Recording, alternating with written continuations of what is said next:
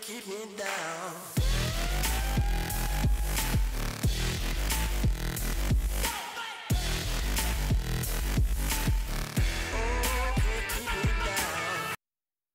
Jo, meine lieben Leute, ich bin's wieder, euer Roofman und ich rufe von Dach für euch und heute mit dem Thema das Herz.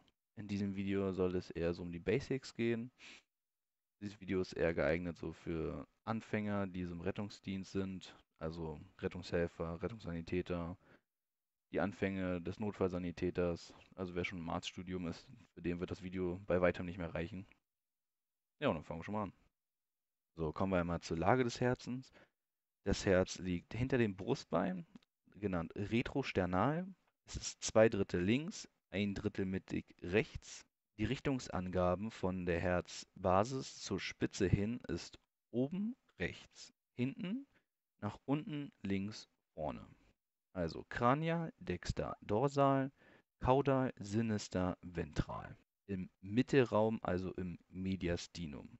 Die Größe des Herzens beträgt 11,5 bis 15 cm und das Gewicht ist ca. 300 Gramm. Und um sich das Herz besser einprägen zu können, spielen wir das Spiel Ich bin ein Sauerstoffteilchen. So, wir sind jetzt erstmal sauerstoffarm und sind im rechten Vorhof, das Atrium dexter. So, von Atrium dexter geht es durch die Trikospidalklappe, diese hier, in die rechte Kammer, den Ventriculus dexter. Von dem Ventriculus dexter geht es durch die Lungenarterienklappe, wäre die hier, die Valva pulmonalis, in die Lungenarterie. Sauerstoffteilchen auf, sind sauerstoffreich.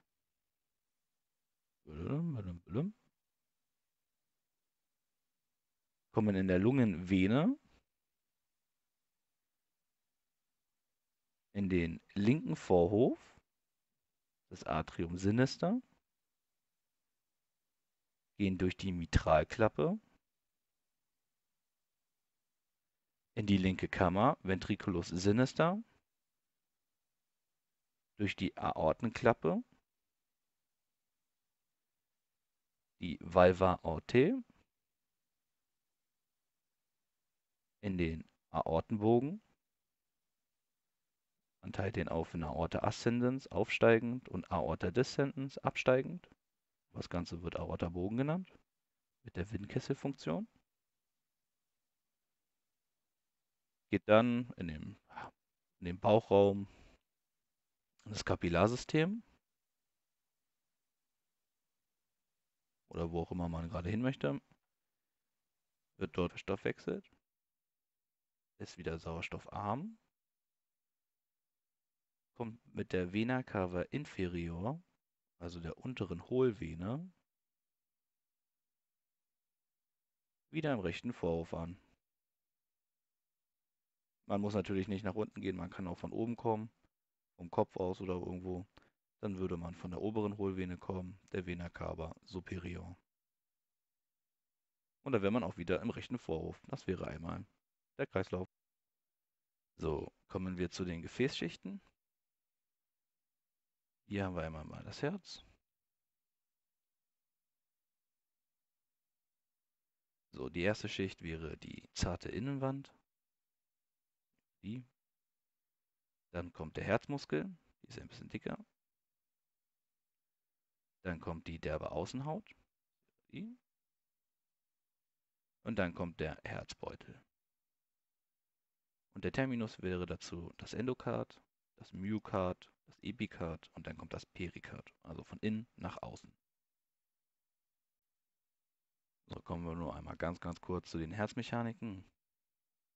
Das wäre einmal die Systole, die Anspannungsphase und die Austreibungsphase und die Diastole, die Entspannungsphase und die Füllphase des Herzens. So, zum Herzen gehört ja auch das Reiz-Leitsystem. Also man muss ja irgendwie mal erfahren, wie ein Herzschlag zustande kommt. Da habe ich hier einmal so schön gemalt ein Herz. Ich hoffe, es ist gut zu erkennen. Mit den ganzen Mechaniken. Also wir hatten einmal den Sinusknoten, den AV-Knoten, das Hissbündel, die Tavara-Schenkel und die Purkinje-Fasern. Der Sinusknoten, der primäre Impulsgeber, schlägt ca. mit 70 bis 80 Schlägen die Minute. Die Lage ist in der Innenwand des rechten Vorhofes an der oberen Hohlvene. Die Impulse gehen die, durch die Muskulatur des rechten Vorhofes, wo sie dann zum AV-Knoten weitergeleitet werden. Der AV-Knoten, der Atriventrikularknoten, ist der sekundäre Impulsgeber, kann beim Ausfallen vom Sinusknoten elektrische Impulse erzeugen, die ca. 50 bis 60 Schläge die Minute wären. Die Lage wäre am Boden des rechten Vorhofes, geht in das Hissbündel über. Kommen wir zum Hissbündel. Es teilt sich in drei Tavara-Schenkel auf. Es ist der tertiäre Impulsgeber beim Ausfall vom Sinusknoten und AV-Knoten. Also es ist der dritte Impulsgeber, sollten die anderen beiden ausfallen.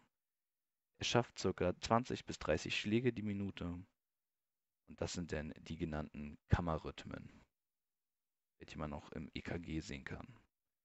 Die Lage, beide Seiten der Herzscheidewand. Es leitet die Erregung bis zur Herzspitze weiter. So kommen wir zu den Tavara-Schenkeln.